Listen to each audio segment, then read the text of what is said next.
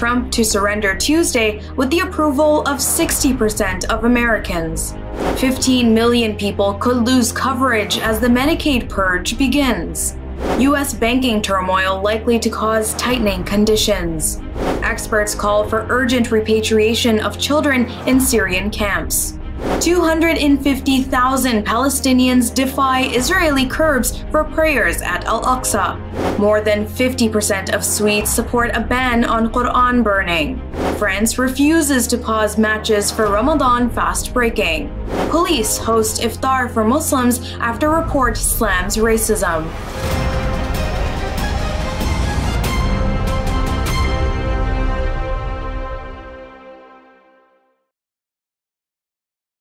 From Toronto studios, this is the Muslim News on Muslim Network TV. Assalamu alaikum, I'm Saamiyah Syed. Our top story tonight. Former President Donald Trump is extremely angry and his family is rattled, according to New York Times reporter Maggie Haberman.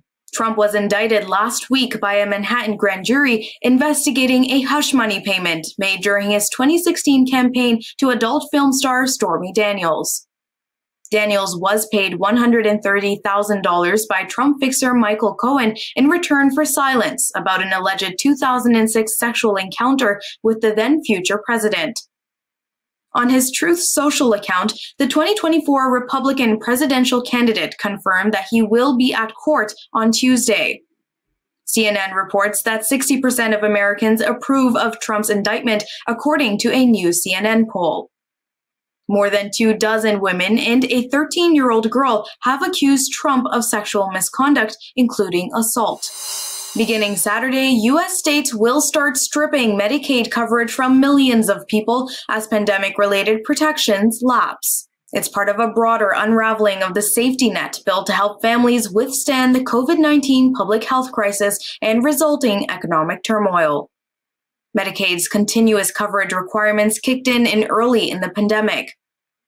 They helped vulnerable people maintain insurance amid the health crisis. That resulted in record high Medicaid enrollment. But at the end of last year, congressional negotiators agreed to set April 1st as the beginning of the unwinding process for the continuous coverage mandates. It prevented states from conducting regular eligibility screenings for Medicaid recipients. The bipartisan deal gave states 12 months to determine who is eligible for Medicaid. Some states are jumping at the opportunity to quickly remove people from the program. Joan Alker is executive director at the Georgetown Center for Children and Families. She tweeted on Friday, Tonight at midnight, people in Arizona, Arkansas, Idaho, New Hampshire, and South Dakota will lose their Medicaid coverage. Residents of 10 states that have refused life saving Medicaid expansion under the Affordable Care Act are likely to be hit hardest by the end of the continuous coverage requirements. The Biden administration estimates that it could result in 15 million people losing health insurance nationwide, including millions of children. The head of the U.S. Federal Reserve Bank of New York said Friday that the recent banking turmoil is likely to cause more stringent conditions for the American economy. John Williams said a tightening of credit conditions will reduce spending by businesses and households. He added, the magnitude and duration of these effects, however, is still uncertain. The U.S. banking industry has been shaken by the sudden demise of multiple institutions in recent weeks. That includes Silicon Valley Bank and Signature Bank. Williams said about the Fed's aggressive rate hike to bring inflation down, lags exist between the Fed's policy actions and their effects. He explained that while the Fed's aggressive monetary tightening slows economic growth, that will likely lead to some softening in the labor market. For Muslim Americans, the breakfast anytime chain IHOP is a popular destination during Ramadan for the pre-dawn meal called suhoor. This Ramadan, the IHOP in Totowa, New Jersey has introduced a new halal menu. It features chicken fajitas, grilled chicken with salad, and turkey bacon with pancakes made from halal poultry slaughtered and prepared according to Islamic law. Sohaib Jabran, a partner and manager at the restaurant, is himself Muslim. He said introducing the halal menu is something he always wanted to do.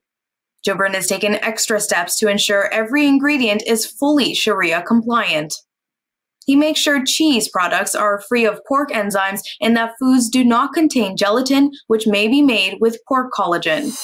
Defying Israeli restrictions, hundreds of thousands of Palestinians from the occupied West Bank marched to the Al Aqsa Mosque for the second Friday prayers of Ramadan. Sheikh Azam Al Khatib, head of the Islamic Endowments Department in Jerusalem, told Anadolu Agency about 250,000 worshippers offered Friday prayers at Al Aqsa Mosque. That was significantly higher than last week's 100,000 who prayed at Islam's third holiest site. Israeli authorities said 2,000 security personnel were deployed in East Jerusalem. Muhammad Ahmed Hussein, the Grand Mufti of Jerusalem, warned of Israeli plans to target Al Aqsa Mosque during Passover. The Jewish holy period runs April 5th through the 12th.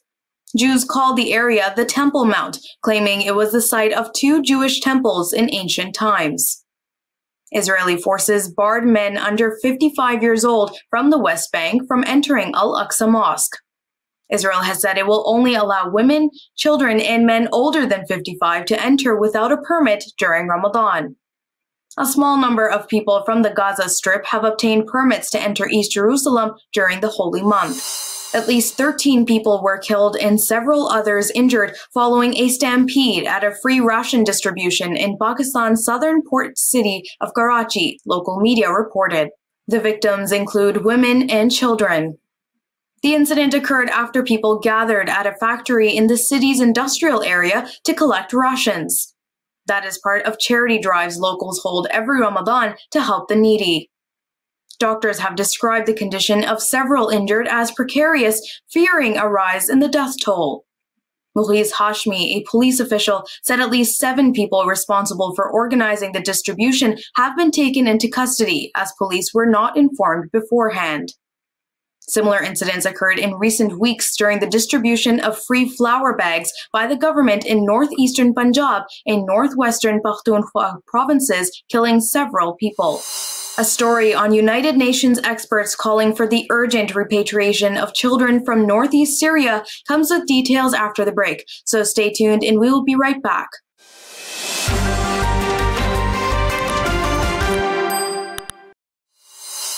Welcome back. On Friday, United Nations experts called for the urgent repatriation of children from northeast Syria as they entered their fifth year of detention. They said children in conflict zones must be protected and not punished. Many of the children were detained by the de facto authorities following the fall of Baghouz in early 2019, experts said. They were talking about camps controlled by the YPG PKK terrorist group. Since 2019, more than 25 countries have repatriated their citizens from Syrian detention camps. Western countries have, however, been reluctant to bring home their nationals and family members suspected of joining ISIS in Syria. Experts said the two largest locked camps for women, girls, and young boys, Al Hol and Roj, are still holding around 56,000 individuals, including 37,000 foreign nationals. More than half of the camp's population are children. 80% come under the age of 12, and 30% are younger than 5. There are also more than 850 boys being held in prisons and other detention areas, and what are being called rehabilitation centers throughout northeast Syria. The Vatican on Thursday responded to indigenous demands and formally repudiated the doctrine of discovery. Last summer, Pope Francis formally apologized for the Catholic Church's role in Canada's residential school system.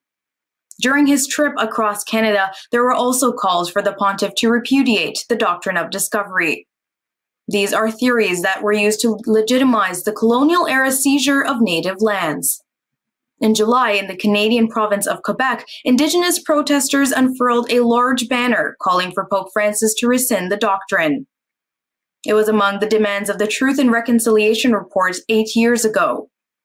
Dr. Matthew Wildcat, a member of the Ermineskin Cree Nation and an assistant professor at the University of Alberta, called it a humongous symbolic victory for Indigenous peoples.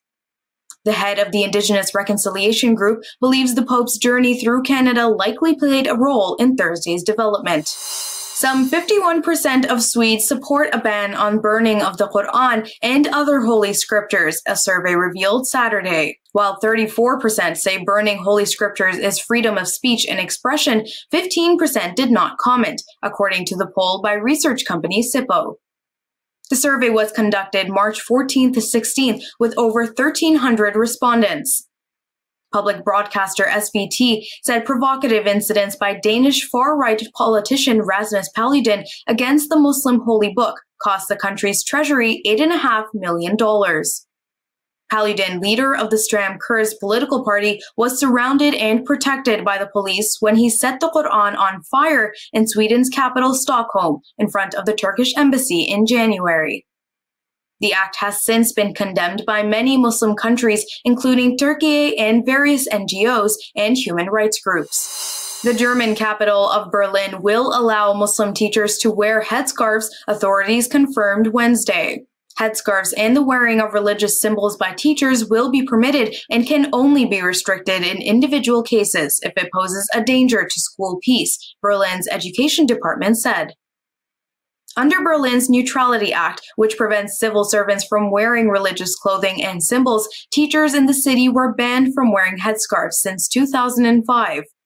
Several court rulings in recent years have underlined that a blanket ban on headscarves constitutes discrimination and violates religious freedom guaranteed by the Constitution. The Senate Department for Education, Youth, and Family told school directors they should comply with the recent court rulings. Many are condemning France's Football Federation for its dismissal of Muslim players' religious obligations and physical well being. Unlike English football leagues, France's Football Federation or FFF has refused to pause evening matches during Ramadan to allow Muslim players to break their fast. The Federation has said it is due to the principle of football neutrality at the places of practice. In an email sent to French football officials, FFF's Federal Commission of Ref- Referees has forbidden any match interruptions to allow Muslim footballers to break their fast. The Commission said these interruptions do not respect the provisions of the statutes of the FFF. The Federation and its bodies defend the fundamental values of the French Republic and must implement means to prevent any discrimination or infringement of a person's dignity due to their political and religious beliefs, said the email. The FFF prohibits any display of a political, ideological, religious, or trade union affiliation during its tournaments. The Federation warned failure to comply with these instructions will subject the violator to disciplinary and or criminal proceedings. The email concluded by calling on all football officials to ensure these provisions are respected. One of the London Metropolitan Police's most senior officers said an iftar event for Muslims is the force's last chance to regain public trust. Chief Superintendent Jeff Booth's comments came at the event this week at New Scotland Yard. It comes just days after a damning report found the London Metropolitan Police institutionally racist, misogynistic, and homophobic. The 363 page report by Baroness Louise Casey identified a number of cases where female, gay, or minority ethnic officers were abused or mistreated by colleagues. It also revealed widespread bullying, racist attitudes, and deep seated homophobia. Booth addressed some of the concerns raised by the Casey report at the iftar. He said, For many of us, the findings were not new. For many of us, we have been saying this for years. You can look at it as an opportunity to continue in the way we have been behaving for a number of years, or we can see this opportunity to bring about real change. Booth said the force was continuing to grow its community outreach work to attract the number of women and people from underrepresented groups to its ranks. Before we conclude today's news, I would like to extend a special request. It takes about 55 hours of work per day to produce this news segment for you. It brings news with a unique perspective, and you can find it only on here on Muslim Network TV. Sound Vision is a not for profit organization which produces it. And just like PBS or NPR, we depend on your donations. Please visit muslimnetwork.tv to donate now or click the link below to donate. And that's all from our Toronto studios tonight. Thank you for tuning in. You can subscribe to our YouTube channel and hit the bell icon for the latest updates. For more content, keep watching Muslim Network TV or visit muslimnetwork.tv. Assalamu alaikum and good night.